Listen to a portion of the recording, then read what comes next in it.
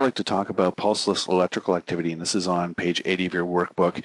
And uh, PEA is an interesting rhythm. I call it the Monty Python of cardiac arrest rhythms because uh, PEA can present as any rhythm in which you might reasonably expect to find a pulse, but in fact the patient is vital signs absent. So they have some semblance of an organized rhythm on your heart monitor, uh, but they're apneic, unconscious, and pulseless.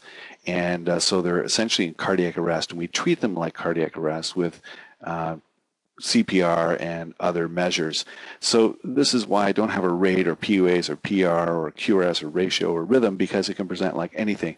Now, my experience, oftentimes PEA presents in um, idioventricular rhythm without a pulse, but it could present in a sinus rhythm or junction rhythm or uh, any one of a variety of different rhythms um, without a pulse. And I say Monty Pythonish because um, it's been my experience that people will sometimes um, uh, have uh, a patient who has a rhythm and they do have a pulse and they are breathing, but they're unconscious and they're unstable and over the course of treating them for an hour, two hours, slowly they lose their pulse, their cardiac output diminishes to the point where they become pulseless.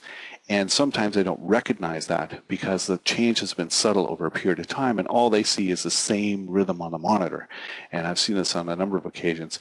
And sometimes it just takes a fresh pair of eyes to look at that patient and say, uh, hmm, this patient does not have a pulse. And they go, oh, you're right, they don't have a pulse. Um, you know, so they uh, I've, you know, I have this little Monty Python scenario going on in my head when I see PEA, and they go, "Oh well, um, your patient doesn't have a pulse. Oh no, he, he's um, yes, he's got a rhythm. Look at his rhythm; he's perfectly fine. Uh, well, your patient's uh, got rigor mortis. Oh no, it's just arthritis. That's all. Terrible arthritis. Uh, but your patient's decomposing. Oh no, it's just running shoes, smelly running shoes. Horrible thing, those smelly running shoes.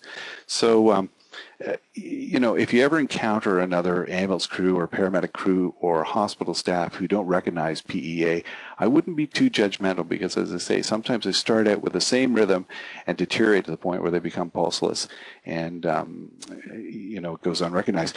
Now, the key with pulseless electrical activity is to do the standard CPR, but we want to look for an underlying cause and treat it. So um, the Advanced Cardiac Life Support uh, course uh, lists five H's and five T's, and let me just go through these. So the five H's are hypovolemia, hypoxia, hydrogen ion, which is acidosis, hyper or hypokalemia, and hypothermia. Now, um, you might think, well, if the patient's hypovolemic and in a PEA, uh, all I need to do is fluid resuscitate those patients. But the reality is uh, pretty difficult to resuscitate someone who's hypovolemic and in a pulseless electrical activity because for all intents and purposes, if they reach the point where they're in cardiac arrest, they've exsanguinated. They've lost almost their entire blood volume, if not their entire blood volume, and uh, they'll be difficult, if not impossible, to resuscitate. So, chance of resuscitating those patients are poor.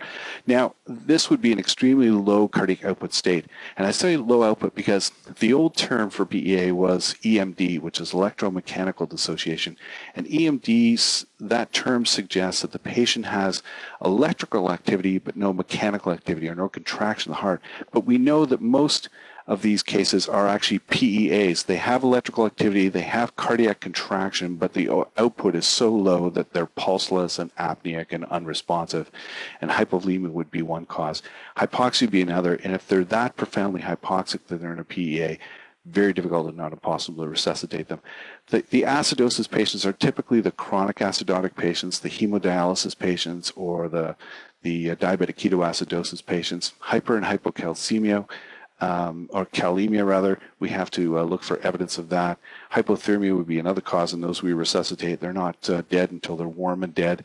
The five T's include uh, drug overdoses, so tablets, cardiac tamponade, tension pneumothorax, thrombolysis, or thrombosis rather, so this would be a patient with a massive MI. We'd have no way of determining that until post-mortem examination and uh, thrombosis or pulmonary embolus. So we look for you know evidence suggestive of that, like a DVT, um, those kinds of things. So we have to look for these causes and try to um, um, determine what they are and and uh, reverse them. Tension pneumothorax might be the most readily reversible one of the bunch.